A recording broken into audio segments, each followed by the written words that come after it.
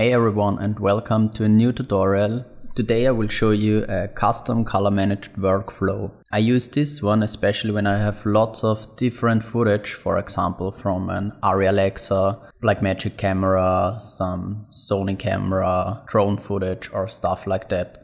It's useful for documentary work because usually there are many different cameras, but it's also great for like commercials when there are lots of shots from let's say the A-cam, the Arri Alexa and then some drone footage or stuff like that.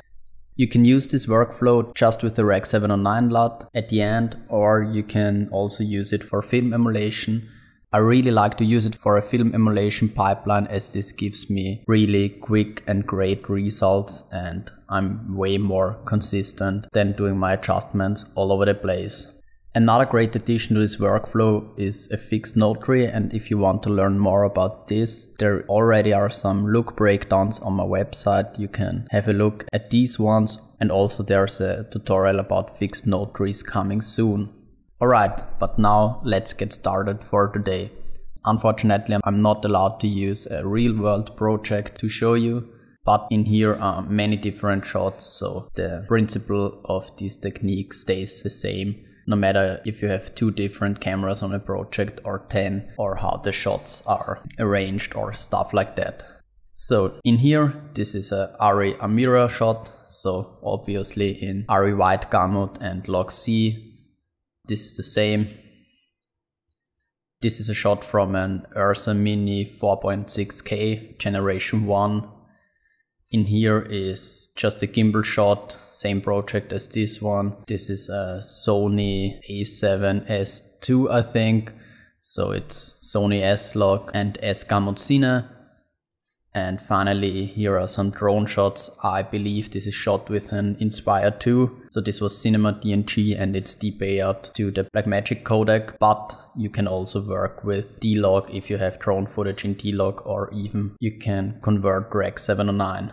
Alright, so how I do this. Usually what I do is to group these shots according to camera if it's a commercial or if it's a documentary with lots of talking heads and different scenes or maybe even a feature film. I have to admit I don't work too much on features. So if that's the case then I would use for example with the talking heads at the documentary I would group them per interview or with the feature film per scene and so on. Alright so let's mark these two and say right mouse click add into new group and call this one Arri. So second one is Blackmagic Ursa Mini. Next is Sony. And last but not least DJI. Alright, so now we have a clip level, a group pre-clip and a group post-clip and of course our timeline level. What I want to do now is go into the group pre-clip level and call up our OpenFX and type in color space transform, drag it into here and now we choose our input and output color space.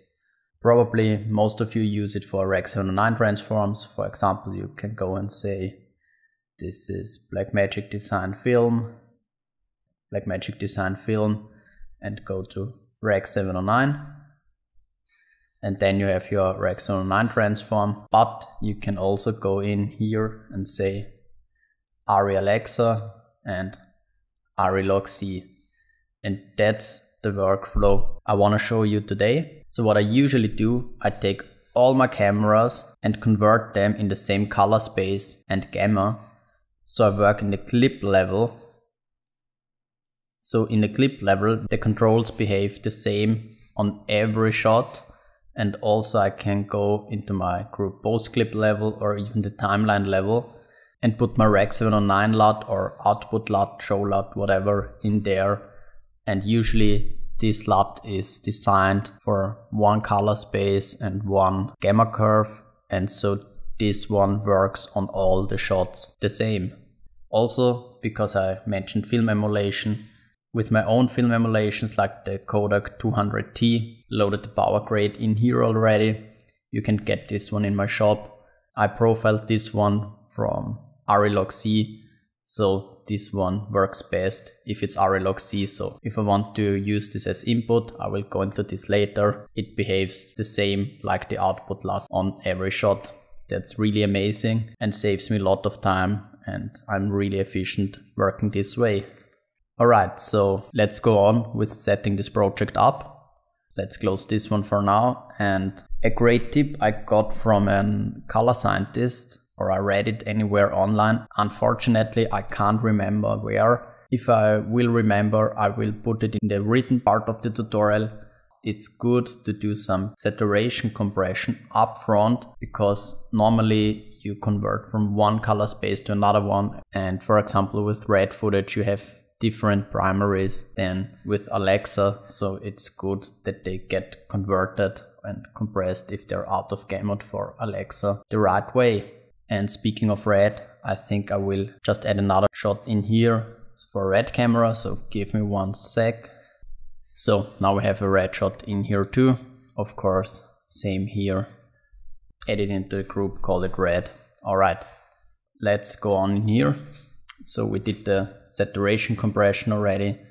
And now to our timeline, let's add a node via option S, so a serial node. Let's head into our LUT folder and go to ARRI and you we can use the ARRI Alexa log C or the newer one, 2019 I believe is this, just the classic Rec 709 LUT. The reason why I use the ARRI Alexa and log C space is because I really love how this curve behaves and also I love the color science and the Rec 709 LUT from ARRI. I'm very used to this and also some other colorists told me that obviously as ARRI is the market leader they have the best color science and mapping of the log C curve. So that's the reason why I always want to work in log C, even if I have other high end footage like a red helium camera or stuff like that. Alright, so set this up for every shot. So we have the drone shot in here. Let's just do it real quick and grab a still and apply it in here. But now of course change the input. So we have red wide gamut, red log 3 G10, again to Alexa with gamut mapping. In here we have to change to Sony, so I believe this was SGamut 3 and S-Log 3. Alright, in here we only have to change to 4.6K Gen 1 and 4.6K film and in here we don't need anything because this is ARRI footage already. Great, so as you can see out of the box this looks really great already and I really love ARRI Rec 709 LUT, of course, we could pull the exposure down in here a bit and in here, also in here, but never mind. And now we could easily go into the clip level and adjust all our clips, like I already said, and we have a nice, consistent and coherent look and in the group post clip level. We could even change some values or looks per scene if we want to and if we grouped it the right way.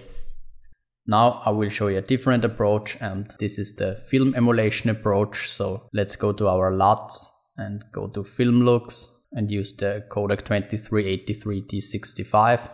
And out of the box, this doesn't look right because normally we'd need Rec 709 color space and a Cineon log curve as a right input for this LUT. Of course, we can add a color space transform just right in front of it to convert from our ARRI signal to our Cineon signal and to Rec 709. But as I already showed you before, I have a negative emulation for log C. So up front, I use this one. I have a standard one, and as this is a tungsten stock, I also have emulated more or less eyeballed a 85B filter for daylight. So let's use this one and say a band node graph and as you can see, this gives us a way better starting point as this is emulating film. So we don't need to use the Rec 709 conversion. So select all of these and create a compound node and call this one 200T. So not the best workflow, but let's grab a still again and use this one on every shot.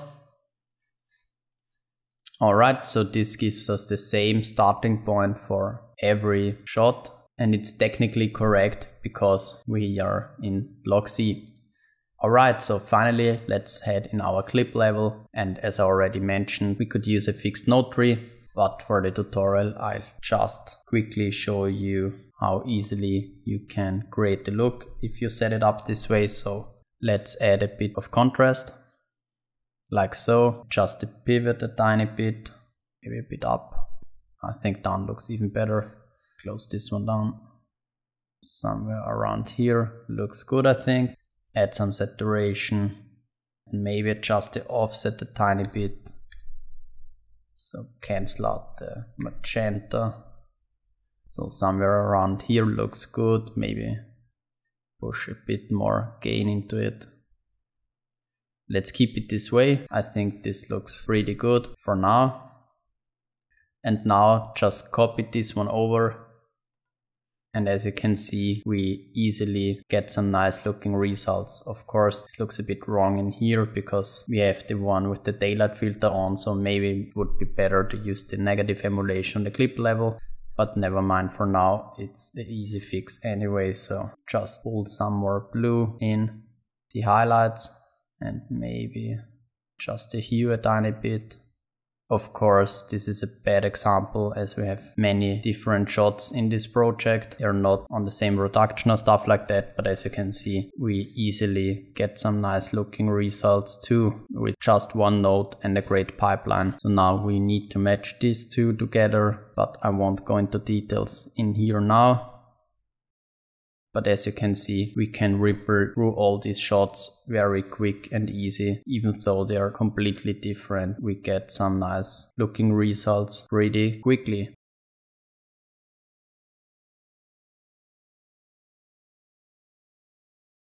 So this is a big advantage of this pipeline and of course you could add some grain and halation or stuff like that in front of the film emulation.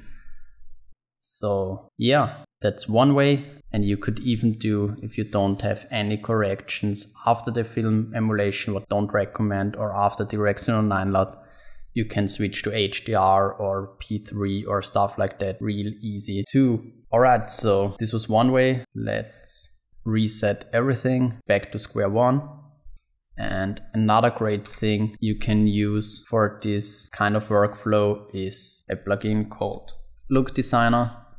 So basically it works the same. Of course, I would group it again and stuff like that. And you can set your input profile, like in here we have Sony.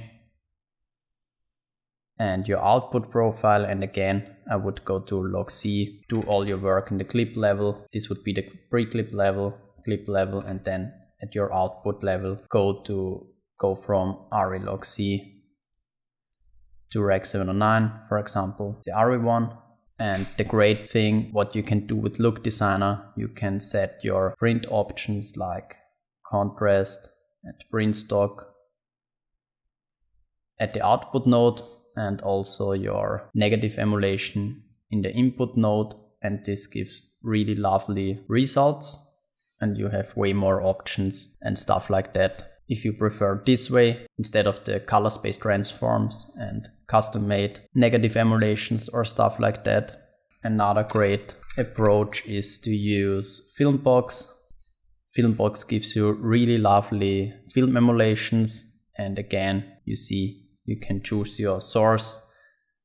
You have Rec 709, P3, Rec 2020, ACES and yeah that's all you need and again you can go to negative only, print only and split them up and so on and also you have some more options to push pull, add contrast, vibrance, do your split toning. Also you can go into the advanced settings for halation grain, gate wave and stuff like that. So this is an awesome plugin for color managed workflow with film emulation too. Alright, that's it for today. I hope this helps you and especially gives you way more consistent and quick results in your grading workflow. Thanks for watching and see you soon.